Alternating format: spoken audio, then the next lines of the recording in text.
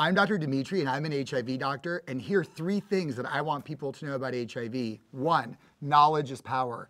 If you know your status, you can change the course of your health. Two, there's something called PrEP. Use pre-exposure prophylaxis to prevent HIV if you're HIV negative. And number three is U equals U, undetectable equals untransmittable. If you're living with HIV and you take your HIV medicines, you actually improve your own health and prevent transmitting HIV to the people that you love.